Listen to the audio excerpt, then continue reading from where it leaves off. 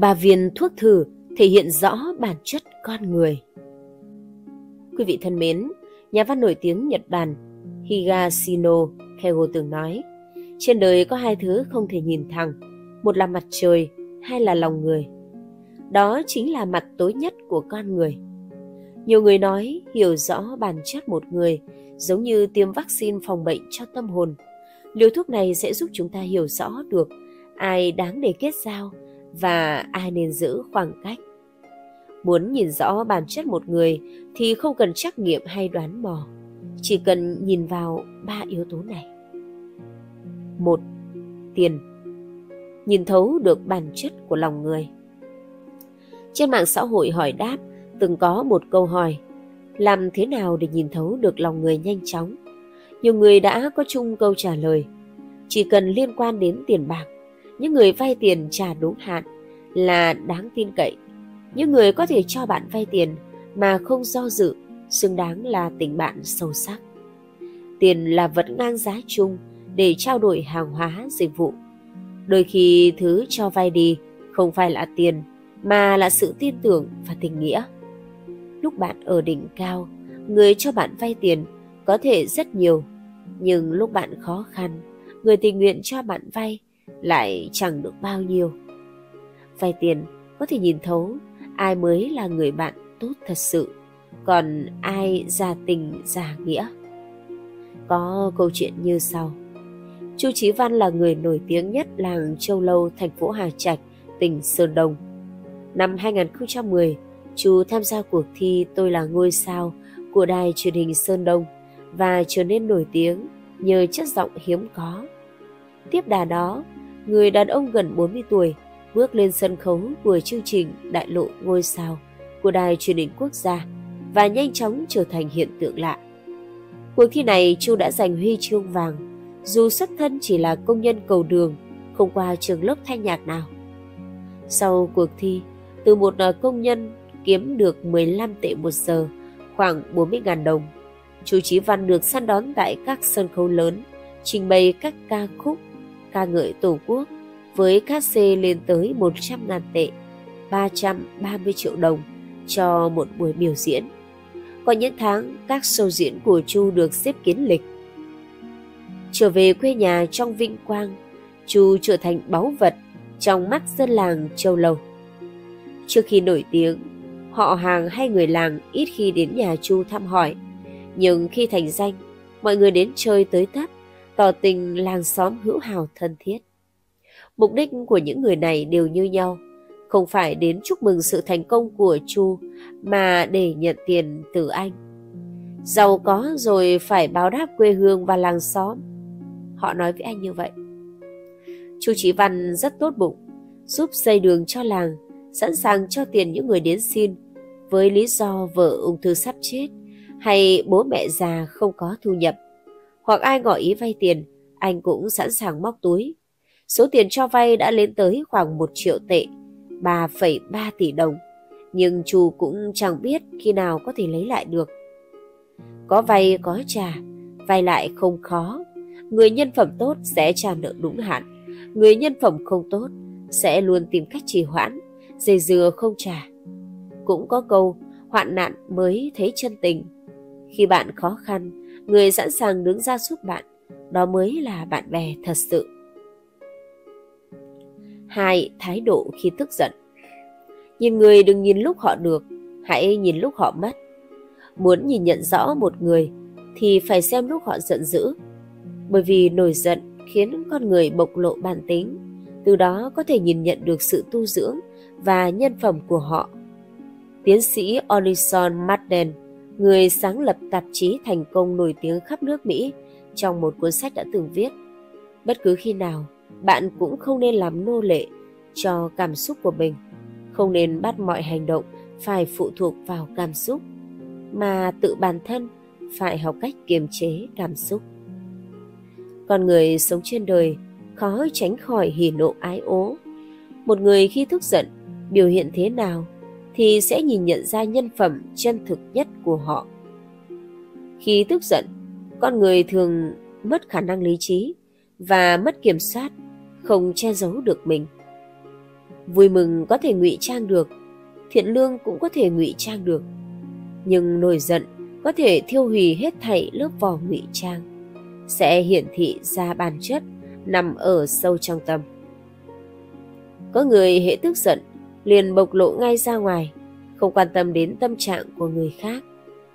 Nhưng như vậy chỉ khiến cho sự tình tệ hại hơn.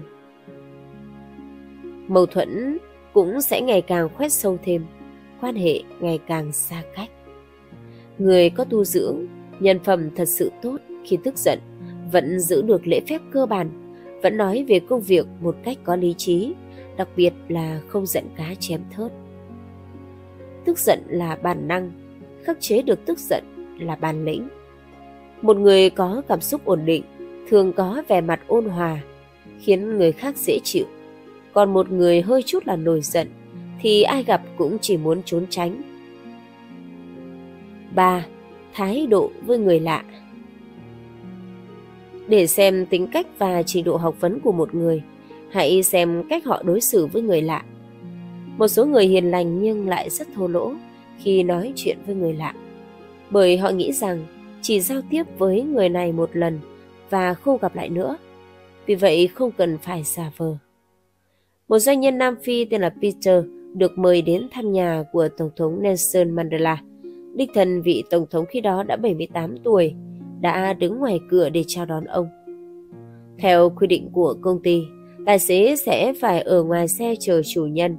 Vì vậy sau khi tài xế được Mandela mời uống nước, đã lặng lẽ trở lại xe chờ Peter. Khi đến giờ ăn trưa, đầu bếp đã nhắc hai lần nhưng không thấy vị Tổng thống động tĩnh gì. Peter cảm thấy rất khó hiểu. Mãi đến một giờ chiều, Mandela mới hỏi Peter, khi nào thì ngài mời tài xế vào dùng bữa? Thấy Peter còn ngỡ ngàng, Mandela đã đi tới bãi đậu xe, gõ vào cửa kính, cúi đầu nói với tài xế. À, xin lỗi, tôi muốn mời ông cùng dùng bữa với chúng tôi, được không?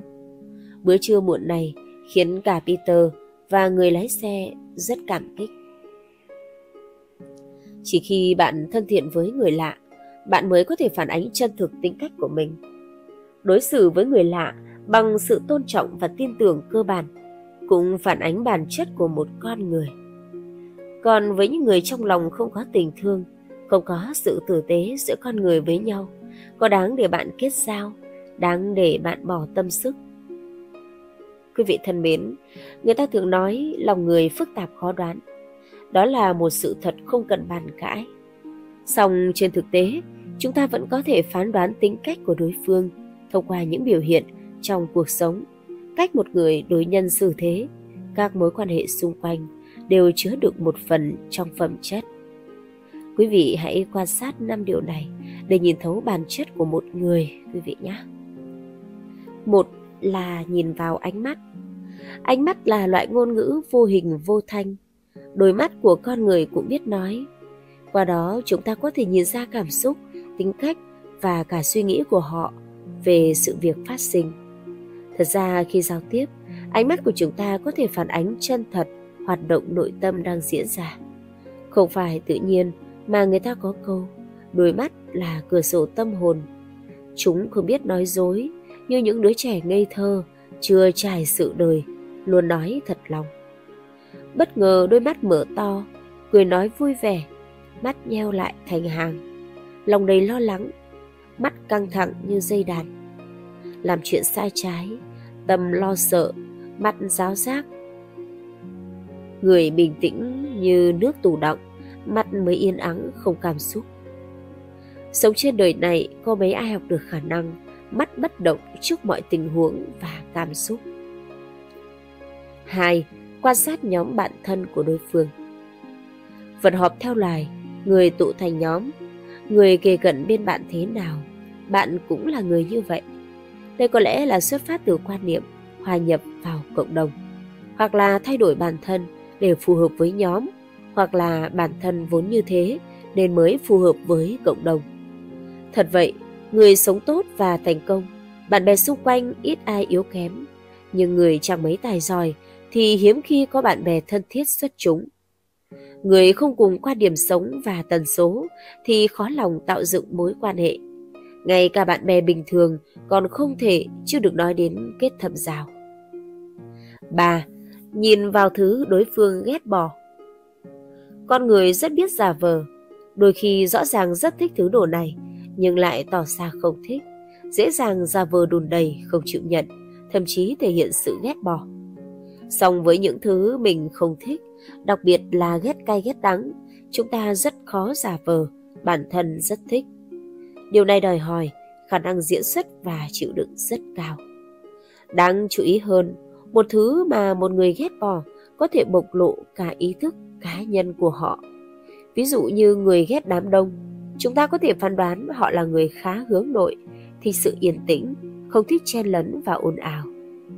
Người ghét sự trễ nài chứng tỏ họ rất tuân thủ giờ giấc, sống có nguyên tắc, không thích sự chờ đợi, cũng có thể là khả năng nhẫn nại kém. 4. Nghe cách đối phương nói chuyện Mặc dù lời nói có thể mang ẩn ý che đậy, giả dối, nhưng giấy không gói được lửa.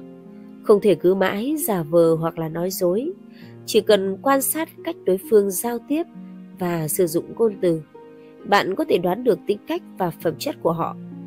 Thông thường lời nói là phản ứng tự nhiên của hoạt động nội tâm. Lời nói không mất tiền mua, lựa lời mà nói cho vừa lòng nhau. Người thích châm biếm công kích thường thâm hiểm xấu xa. Người nói năng có chừng mực, biết người biết ta mới thật sự thông minh.